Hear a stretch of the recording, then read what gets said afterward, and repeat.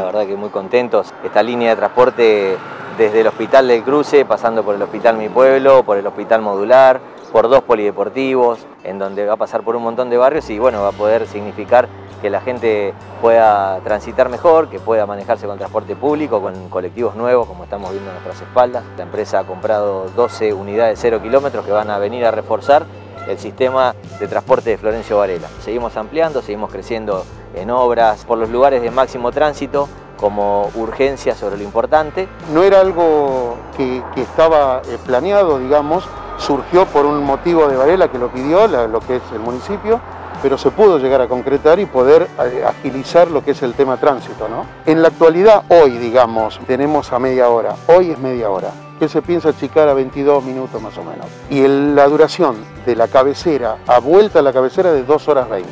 A pesar de la pandemia seguimos trabajando muy fuerte y seguimos ampliando cada vez más la red vial y también eh, las líneas de transporte colectivo para que nuestros vecinos puedan desplazarse eh, dentro del distrito de la mejor manera posible.